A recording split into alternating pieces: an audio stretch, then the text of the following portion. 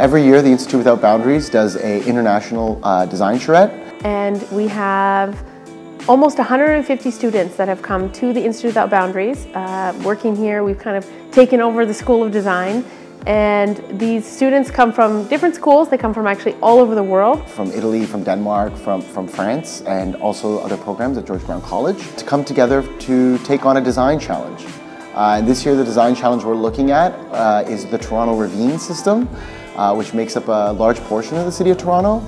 And really what the challenge is for the students is to look at how the ravines connect with the communities that surround them and how the communities around the ravines can, can help influence how, how they grow within the city.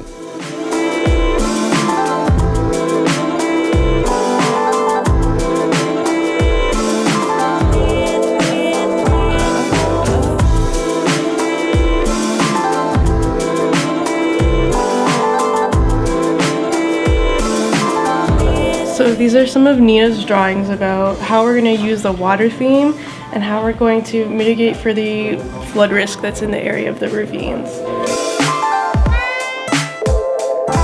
What I like most about the charrette is actually having these international students coming. So not only do we see a mix of disciplines, so we see architects, graphic designers, systems designers uh, working together uh, in this process, but actually seeing the different cultures mix.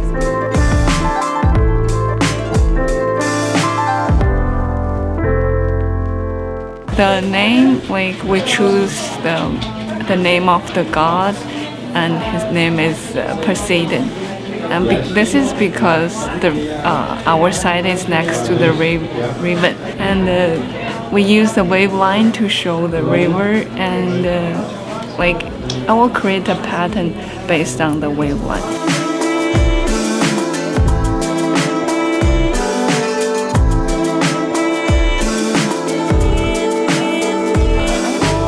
So we want to connect community members by having them cross paths.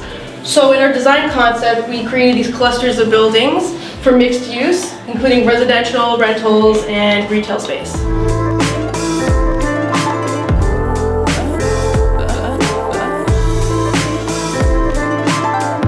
If we start creating more diverse designers, uh, we start creating more diverse and better projects.